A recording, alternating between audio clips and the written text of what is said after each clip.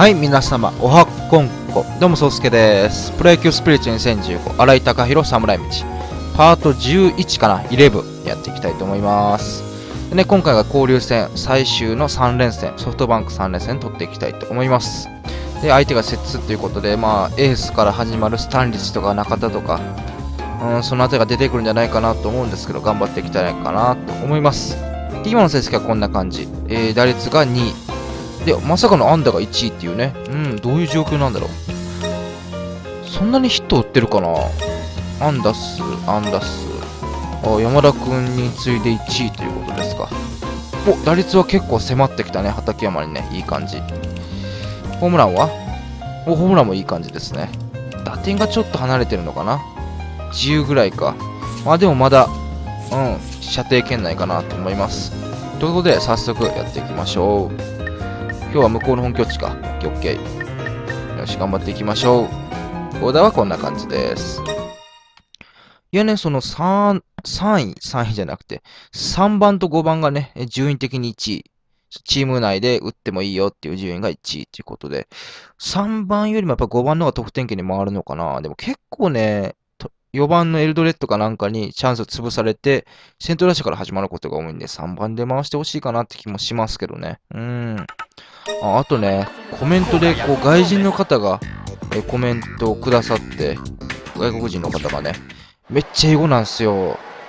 でね、こういう時にね、多分いいこと書いてくれてると思うんですよ。なんか悪いことを書いてるような感じではなさそうなんですよね。こういう時にね、頭良かったらなとか、うん、英語なんかできたらなって思いましたね、今ね、ポンって。今、こう動画撮る前に、ちらっとこう見たんですけど、初めてかな？外国の方がコメントくれたのは初めてかな？あえて長文で。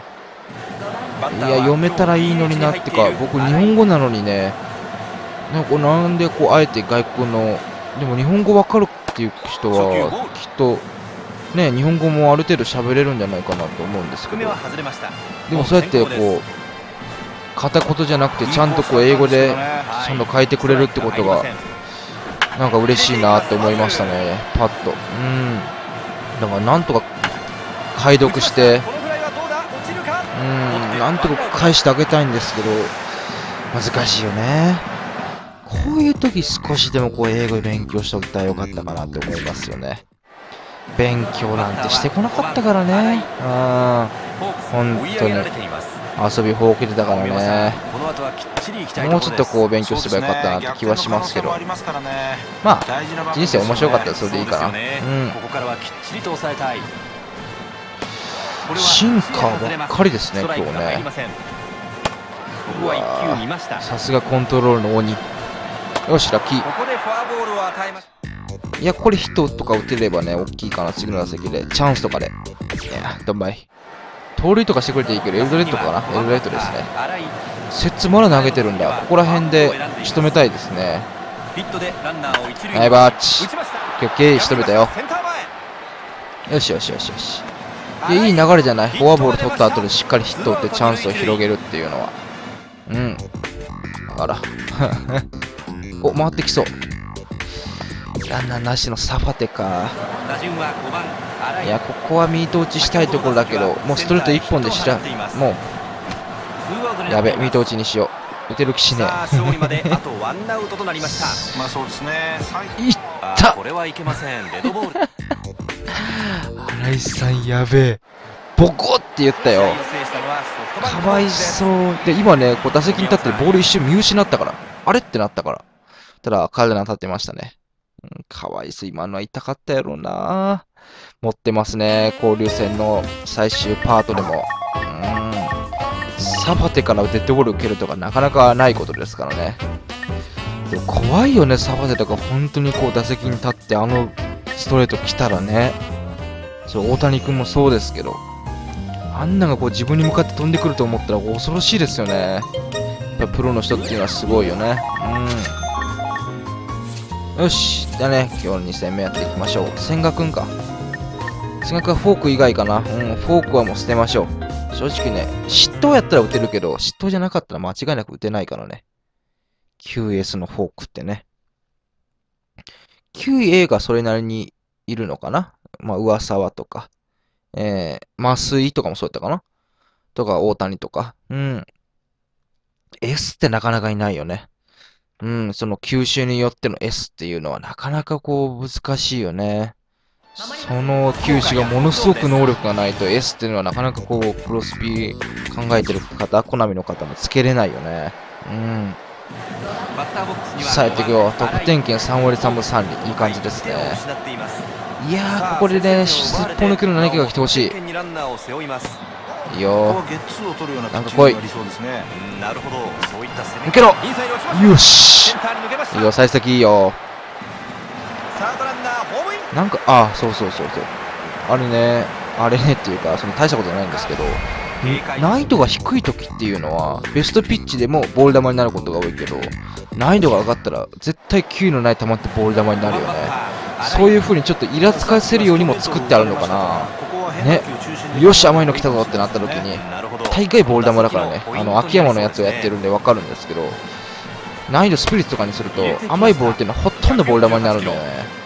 うん。今、プッパッと思ったのが、スライダーの今、むっちゃ球威あるボールがボール球になったから、ああ、そうやってこう、イラつかせてんのかなと思いながらね。うん。よく見た。振るところだったねそれは無理だわ。セカンドの取る全球ベストピッチだったね。いやー結構その秋山の時とかはね、結構ミート落ちするからベストピッチでもある程度、えー対応はできますけど、うん、強心やとね、やっぱり、バッうんターボックスはある程度こうボール球というか、ベストピッチのような球威のない球が来てくれないと、なかなかこう仕留めるのって難しいよね。うん。インサイド落ちました。これはどういや、か無理だわ。ボールを拾って一塁送球します。足が速かった。今のどうなんだろう。もしかしたらあり得たかもしれないですね。チャンスで来い、チャンスで。エルドレッドめちゃくちゃ塁に出るね。うん、今思ったけど。お。ここら辺でヒットが打てるとでかいですね。ヒットでランナーを一塁に置いています、うん、ピッチャーもね、結構スタミナなくなってきてるし。二歩くんかな？二来たよしオッケーオッケー間に合うっしょ、これは。オッケーバッターラン二安打ナーは二安打もう一本落ちたいね。多分回ってくるんじゃないかな。変えられなければね。来たよ。バッターは5番新井まあホークスとしてはさあ打ちましょうここでホームランとか打ってたらね、100点ですけどね。はい詰まりましたここはフライになっています後ろから抑えてスリーアウトチェンジです。今のはね、うん、外されたね。綺麗に。よし。でもまあ2安打。勝ちましたよ。打点も1つ上げたかな。残念ながらソフトバンク最近は一岡、今のは馬尾が馬らでしたけど、最近は一岡が抑えしてるのかなヒースを怪我しちゃったのかなまあなんとも言えませんけど。まあ次がね、交流戦最終戦ということで、気合入れていきたいと思います。うん。うん。なかなかこう、コンスタントにいい成績が残せてるんじゃないかなと思います。うん。アンダーソン、けっぱりいい能力だよね、結構ね。うん。よし、なんか上げれないかな。お、上げれるじゃん、一つ。いいね。よし、これも C になったよ。なかなかこう見れる選手になってきましたね。松坂か。お、最終戦にしてはいいですね。頑張っていきましょう。そうだね、結構ある程度能力がいいよね。まあ頑張っていきたいと思います。あれ松坂ってツーシーム持ってなかったっけ？気のせい？なんかなくなってましたね。アップデートしてツーシームは投げなくなったのかな？まあもう今季絶望って書いてましたしね。でも4億でしょ、年俸。4億もらって1回も登板せずにね、もらうっていうのなんかせこい気がしますけど。まあそれがね、まあ有名、名前を打った選手のね、特権なんでしょうね。もう松坂って聞いて知らない人はいないでしょうからね、間違いなく。うん。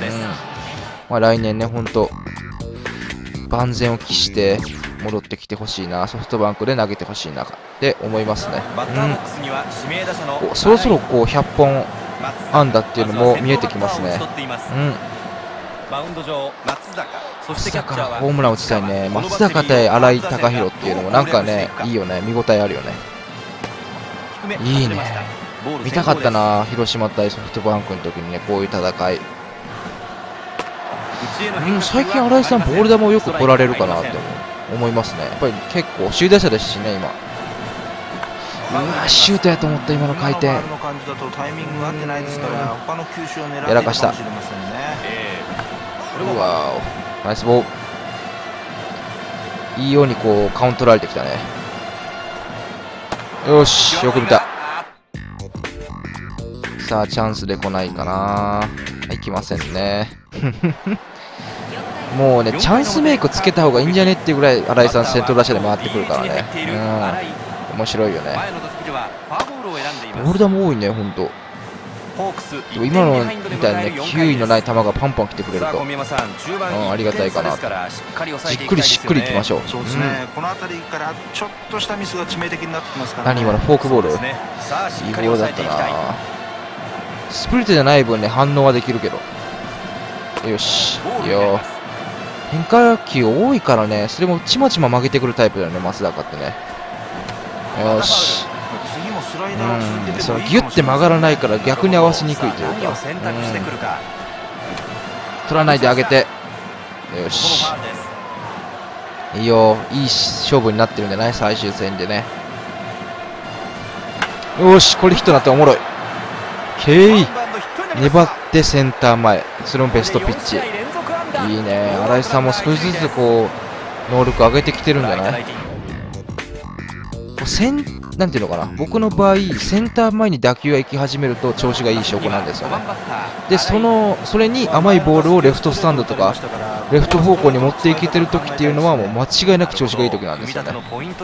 うですね悪い時っていうのはショートゴールとかセカンドゴールが増えた時。こういうのね。まあ今のはしょうがないけど甘いボールに対してショートライナーとかレフトライナーとかセンターライナーとかなってる時は調子が悪い証拠ですね。うん。難しい球でも、えーセンター前に運ばれてる時っていうのはだいぶ調子がいい時、うん、は僕のバロメーター的に警はねうんそんな感じかな。まずはワンアウトを取っています。そうなってくるとねなんていうのかな。こう甘いボールが来ればなんとかセンター前に打てるっていう一つの自信が生まれるから結構こう打撃にね余裕ができるんだよね。それがなんか自分的には良かったりするのかなって思います。最近こうデッドボールなどフォアボールなどが多いね。出た。昨日やられた服も森福。打つよ。今日は打ったろうぜ、ま、2試合連続やられるわけにもいきませんからね。うん。同じ選手ねや。2回やられないぐらいの気持ちで。ファウルになります。うんやられ次そうなるほど。ナイスボー。ルつなごう。ツーボールツーストライクです。よしよ。フォアボールかな。そんなことないか。よ打しちました。2回やられなかったよ。オッケー。今日もマルチヒット。いいですね。新井さんいいですね。本当に。うん。よしよしよしどうだろう交流戦五分五分ぐらいで終われたのかなうん小宮山さん五分五分ぐらいで終われてると嬉しいかなと思います。いやー、2時間ずっと締め切っててもね、部屋の温度が28度っていうのはありがたいね。本当に。うん、涼しいってのは素晴らしいですね。よし、いい感じ。どこが優勝したかな？交流戦は。うん、そういう発表、あ、ありましたね。あ、ソフトバンクおめでとうございます。よし、えー順位的には、お、普通に1位駆け上がってますね。ソフトバンク1位にしても、西武が独走状態っていうのはまたすごいですね。うん。ってことでね、次回はオールスター取っていきたいと思います。僕の予想的にどっちか1試合を、えー予想っていうか、取りたいのは、どっちか1試合を守備操作ありの試合、1試合取っていきたいかなと思います。コメントでね、守備操作してほしいというコメントをいただいているので、うん、守備操作やっていきたいかなと思います。でね、今回はこれぐらいで終わりたいかなと思います。まあ、交流戦ね、ある程度残したんじゃないかな、成績はね。うん。あ、出た、大林。大林っていうのがまたちょっと悪意あるよね。これ名前にね。うん。まあ、全然全然いいんですけど。ということで、終わりたいと思います。それではご視聴ありがとうございました。また次回も見ていただけたらと思います。それでは、そうすけでした。さようなら。